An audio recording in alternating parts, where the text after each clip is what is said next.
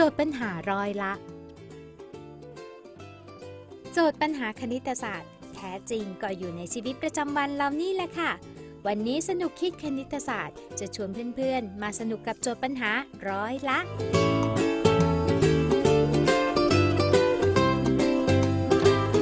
นักเรียนทั้งหมดทำความเคารพ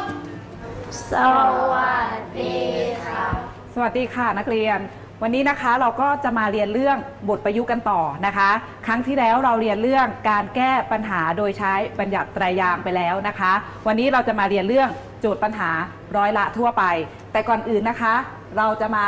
ทบทวนความหมายของร้อยละกันก่อนอ่านะคะจำได้ไหมเอ่ย เคยเรียนแล้วตอนป .5 ใช่ไหมคะคราวนี้ลองมาดูต่อ สมมุตินุชสอบได้คะแนนร้อยละ 80 หมายความว่าอย่างไรนะคะ ถ้าคะแนนเต็ม 100 คะแนน นักเรียนคิดว่านุชสอบได้กี่คะแนนคะ80อ่าถูกต้องนุชสอบได้ 80 คะแนนนะคะ หรือเราสามารถเขียนให้อยู่ในรูปของเศษส่วนได้นะคะ คือนุชสอบได้เศษ 80 ส่วน 100 ของคะแนนเต็มก็ได้เช่นกันอะลองมาดูต่ออีกอันนึงนะคะ มีนักเรียนได้เกียรติบัตร 30เปอร์เซ็นต์เมื่อกี้ร้อยละ ครั้งนี้เปอร์เซ็นต์อันเดียวกันนะคะนะคะ30เปอร์เซ็นต์หมายความว่าอย่างไร เหมือนเดิมเราต้องเทียบจากอะไรก่อนคะ100 ก่อนดังนั้น นักเรียน 100 คน จะมีนักเรียนที่ได้ เกียรติบัตรกี่คนคะ30 คนถูกต้องนะคะ เราก็สามารถเขียนเป็นเศษส่วนได้เหมือนเดิม นักเรียนว่าได้เท่าไหร่คะ เศษ 30 ส่วน 100อะเราลองมาดูข้อต่อไป มีนักเรียนได้เกียรติบัตร 30เปอร์เซ็นต์เปอร์เซ็นต์ข้อเมื่อกี้ร้อยละใช่ไหมคะอันเดียวกันนะคะ 30เปอร์เซ็นต์หมายความว่าอย่างไรตอบพร้อมกันเลยค่ะ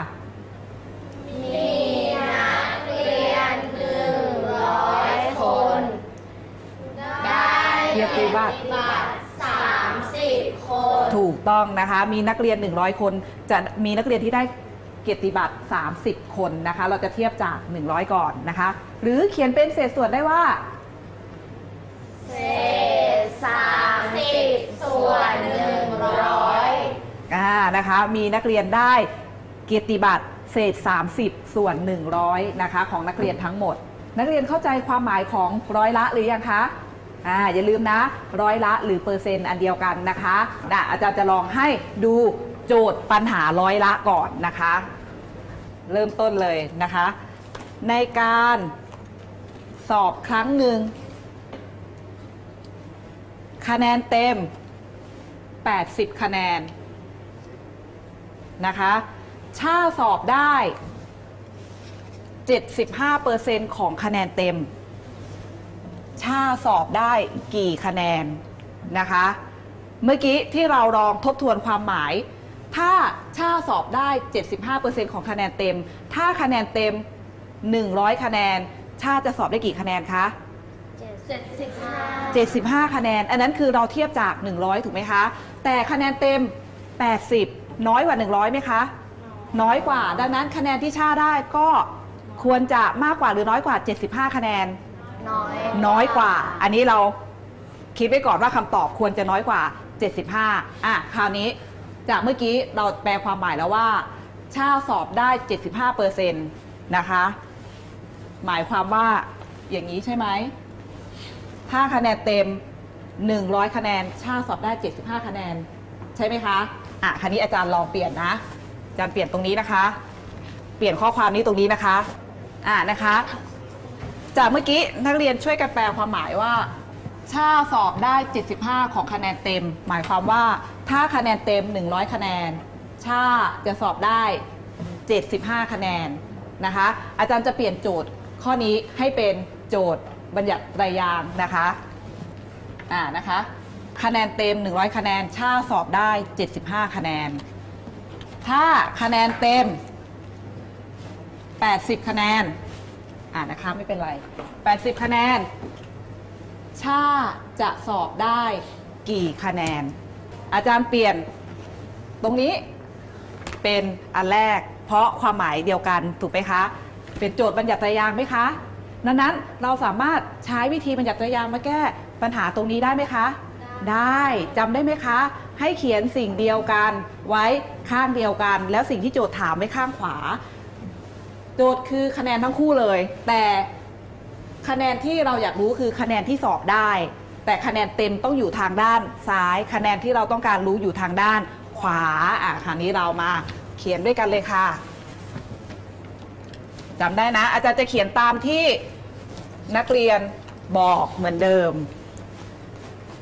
นะคะ เริ่มเลยบรรทัดที่หนึ่งอะไรลูก เฮ้ยถ้าคือที่ต้องการรู้ดังนั้น ต้องการรู้ไว้ด้านขวา ดังนั้นอะไรขึ้นก่อนคะคะแนนเออคะแนนเต็ม100คะแนนนะคะ ชา สอบได้ เท่าไหร่คะเจ็ดสิบห้าคะแนนคะแนน อ่าคราวนี้ ตอนนั้นเราทำเป็นต้องเทียบจาก 1 ก่อนถูกไหมดังนั้นเราลองคิดเลยนะว่าเราจะทำเป็น 1 เราต้องหารด้วยอะไรคะ100 ก็จะได้ 1 ฝั่งนี้ก็ต้องหารด้วย ผ่านด้วยหนึ่งร้อย100 เช่นกัน 75 หาร 100 อันนี้ก็ 100 หาร 100 ก็จะเท่ากับ 1 ถูกไหมคะอะเราข้ามบรรทัดนี้มาเลย เพราะเราเข้าใจแล้วนะ เราก็มาเริ่มอะไรคะคะ แนน เต็มกี่คะแนนคะ เราต้องการรู้กี่คะแนนแปดสิบอ่าคะแนนเต็ม 80 คะแนนนะคะชาสอบได้ทำไงลูก 80เพราะคูณกับเจ็ดสิบห้า75 หาร 100 ถ้าลักษณะแบบนี้เขียนยังไงเลย เออ เขียนเป็นเศษส่วน เศษ 75 ส่วน 100 เสร็จแล้วเราก็หาคำตอบ มีจำนวนใดที่หารทั้งตัวเศษและตัวส่วนได้บ้าง ไม่ต้องลงตัวก็ได้ อะไรคะ 10 ได้ไหมคะ 10 หรือ 5 ได้ไหมคะ ได้แล้วแต่นักเรียนอันไหนก่อนดีคะ 10 ใช่ไหมอะ10 หาร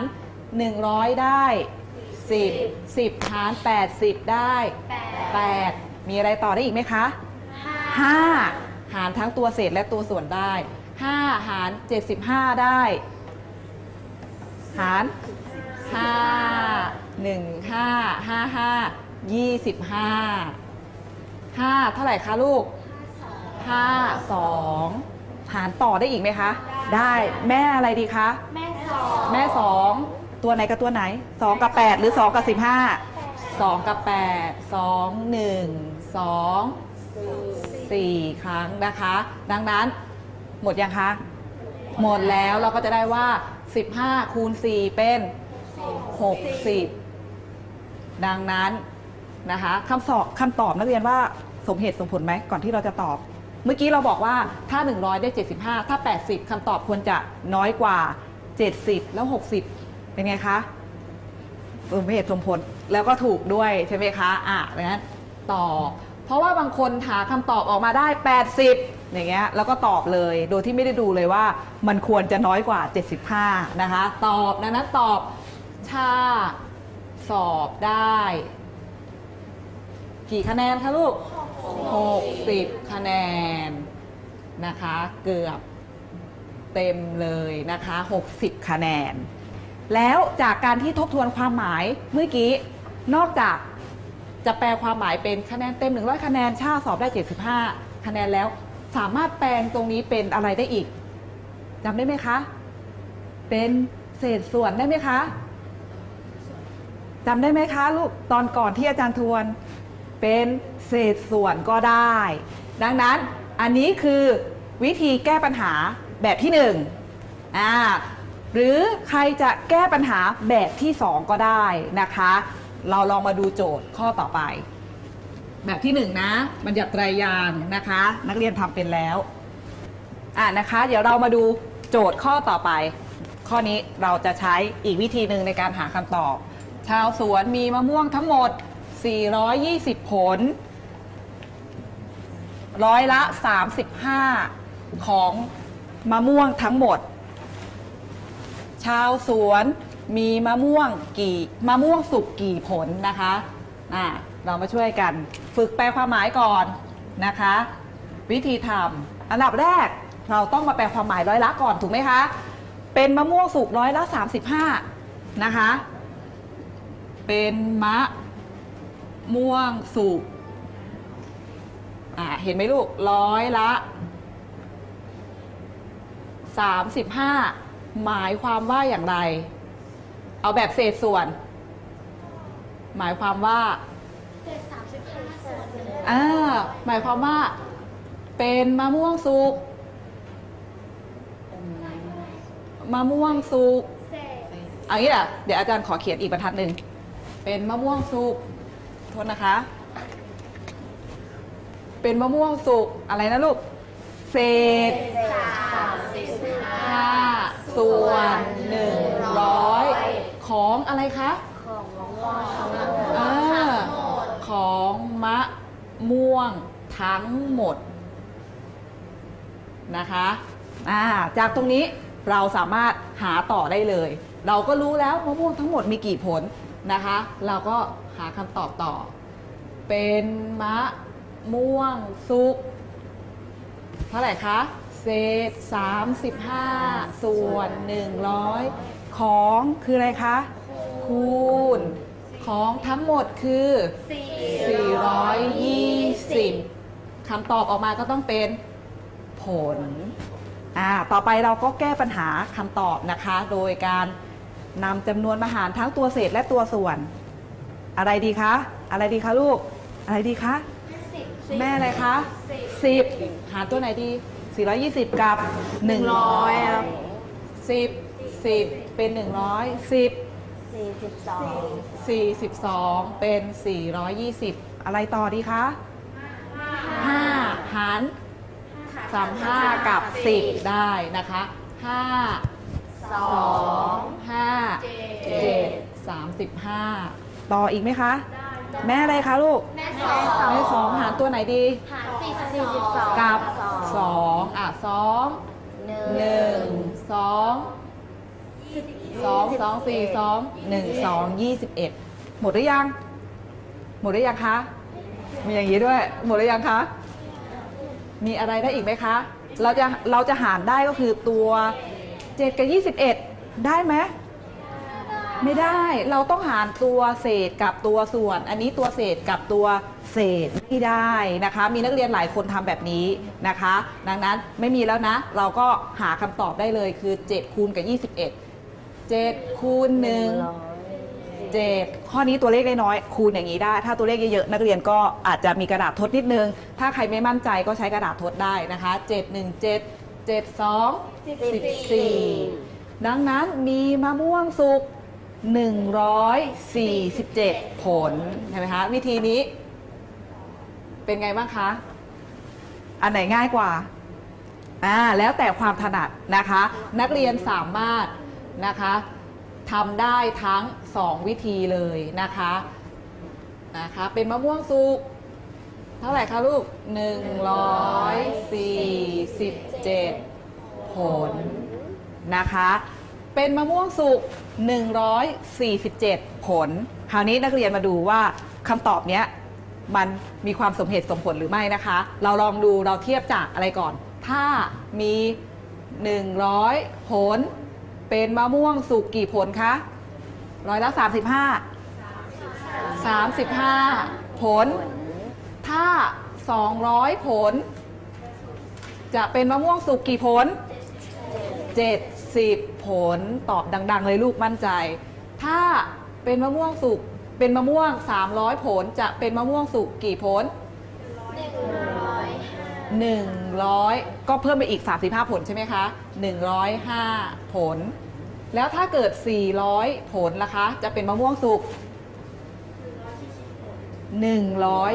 140 ผล ซึ่งของเรามีเท่าไหร่คะ 420 ผล 420 ผลคำตอบคือ 147 เป็นไปได้ไหมคะ เป็นไปได้ไหมคะ สมเหตุสมผลไหมคะ สมเหตุสมผลเพราะ 420 เพิ่มมาอีกนิดนึง อันนี้ 440 อันนี้ 147 เป็นคำตอบที่สมเหตุสมผล อันนี้นักเรียนก็สามารถคิดคำนวณก่อนได้ เหมือนที่อาจารย์บอกข้อเมื่อกี้ บางคนคำนวณได้ 200 ซึ่งมันอาจจะเป็นไปไม่ได้อย่างเงี้ยนะคะ ก็จะได้มาคิดว่า เฮ้ยคำตอบที่เราคิดเนี่ยมันอาจจะผิดนะ ก็จะได้มาคำนวณใหม่ได้นะคะนะเพราะตอนสอบเราไม่รู้ใช่ไหมว่าเราทำถูกหรือทำผิด เราก็ใช้วิธีนี้ในการเช็คคำตอบเราเบื้องต้นก่อนก็ได้นะคะค่ะงั้นอาจารย์จะให้นักเรียนทำแบบฝึกหัดบอกไปแล้วว่ามี 2 วิธีนะคะ อยากจะให้เขียนทั้ง 2 วิธีข้อไหนก็ได้นะคะ แต่ไม่อยากให้เขียนวิธีเดียว ไม่อยากให้เป็นวิธีเดียวนะลูกนะ ลองดูค่ะ มี 3 ข้อนะคะ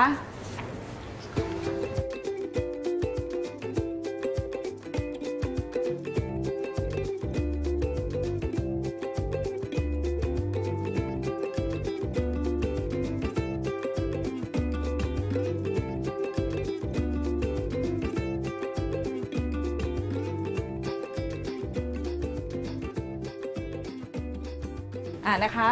เดี๋ยวอาจารย์จะเก็บของนักเรียนมาตรวจ แต่เรามาสรุปร่วมกันก่อนว่า เราสามารถหาได้กี่วิธีคะสองวิธีแรกทำยังไงคะ ใช้บัญญัติตรยางในการหาคำตอบกับ เปลี่ยนร้อยละให้เป็นเศษส่วน นักเรียนถนัดวิธีไหนชอบวิธีไหนนะคะ ใช้ข้อนั้นในการหาคำตอบได้เลยนะคะอะเดี๋ยวให้แต่ละกลุ่มนะคะ ส่งตัวแทนนำมาส่งอาจารย์ค่ะนะคะ รวบรวมมาส่งค่ะลูก รวบรวมมาส่งรวบรวมมาส่ง